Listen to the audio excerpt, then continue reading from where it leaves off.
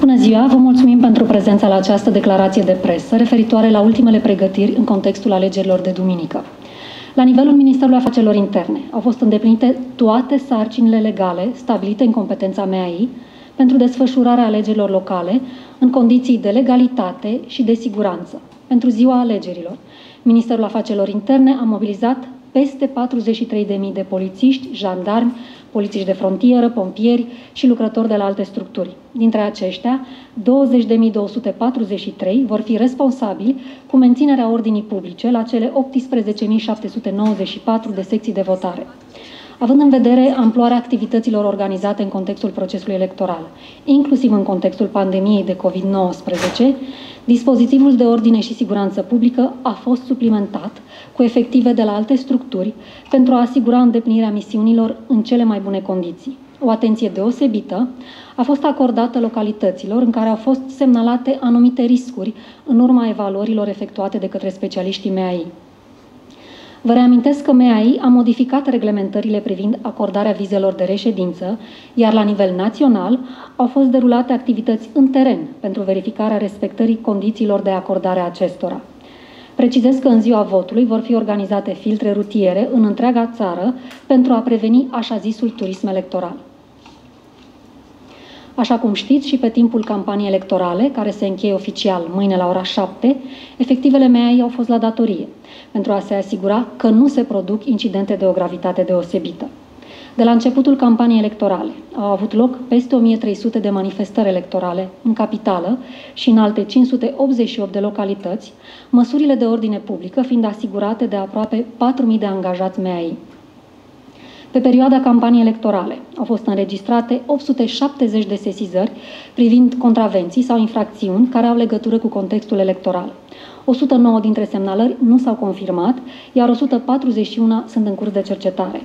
Pe timpul campaniei au fost constatate 327 de contravenții, fiind aplicate 167 de amenzi în valoare de peste 114.000 de lei, precum și 160 de avertismente scrise. De asemenea, sunt în cercetare 250 de infracțiuni care au legătură cu procesul electoral. Mulțumim cetățenilor și competitorilor electorali care au înțeles să respecte prevederile legale pe tot parcursul campaniei electorale. Conducerea Ministerului Afacerilor Interne a solicitat mobilizare maximă pentru ziua alegerilor și a luat măsuri suplimentare în vederea asigurării unui proces electoral în deplină legalitate. Orice sesizare va fi tratată cu celeritate și seriozitate, iar efectivele MEAI vor manifesta toleranță zero în cazurile de încălcare a legii, indiferent de opțiunile politice ale persoanelor implicate. Din dispoziția conducerii MEAI, începând de astăzi și până luni, echipe de ofițeri cu experiență din cadrul aparatului central al MEAI și din cadrul IGPR, IGJR și IGPF se vor afla în teritoriu pentru a monitoriza activitatea structurilor teritoriale și pentru a acorda sprijin și îndrumarea acestora. De asemenea, echipe mixte de verificare, formate din reprezentanța ai Corpului de Control al Ministrului, respectiv personal desemnat din cadrul structurilor de control ale IGPR, IGJR și IGPF, sunt pregătite să verifice orice sesizare cu privire la activitatea personalului MEAI, inclusiv din cadrul instituțiilor prefectului. O altă măsură dispusă pentru desfășurarea în condiții de legalitate a votului privește liberarea cărților de identitate. Pentru soluționarea cu operativitate a cererilor privind eliberarea cărților de identitate, Direcția pentru Evidența Persoanelor și Administrarea Bazelor de Date din cadrul MEAI a recomandat serviciilor publice comunitare locale de evidența persoanelor să asigure program cu publicul sâmbătă între orele 8 și 16 și duminică între orele 7 și 21. Recomandăm cetățenilor să acceseze site-urile serviciilor publice comunitare de la locul de domiciliu sau de reședință pentru a verifica programul de lucru al serviciilor respective.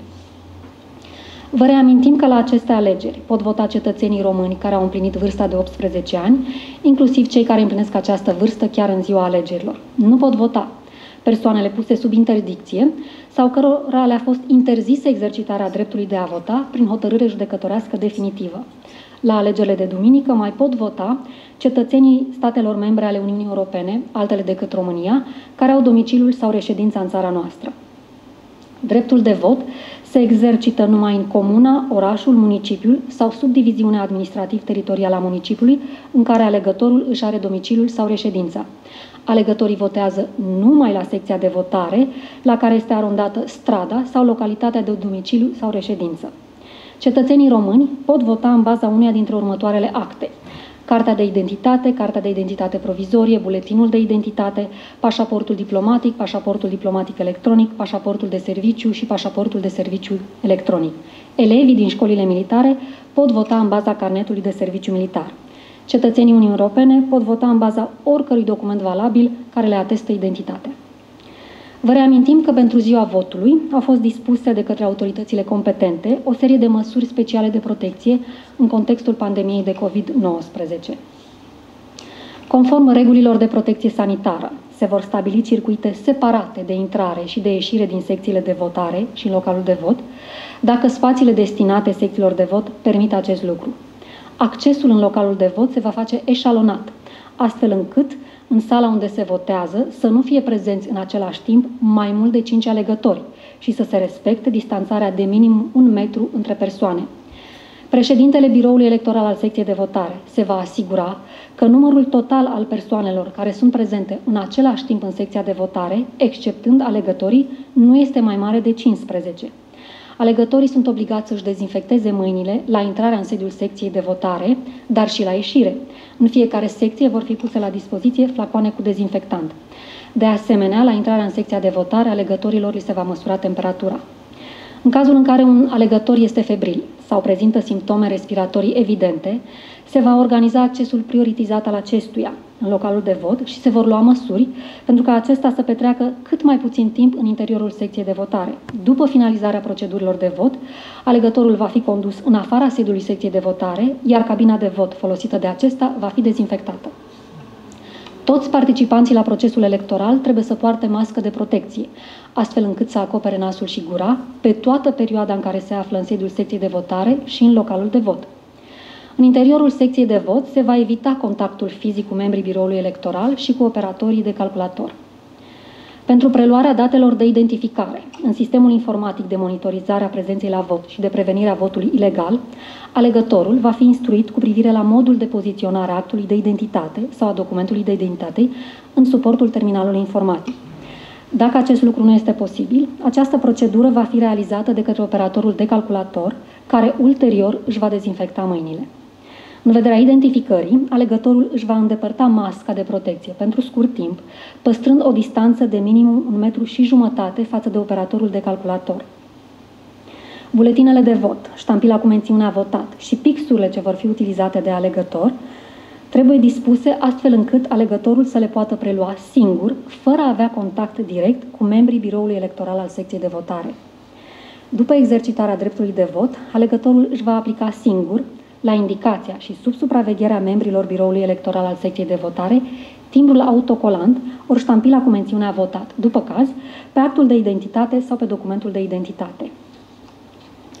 Regulile de protecție sanitară trebuie respectate și în cazul exercitării dreptului de vot prin intermediul urnei speciale.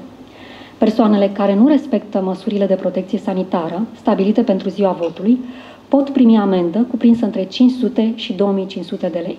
Vă mulțumesc!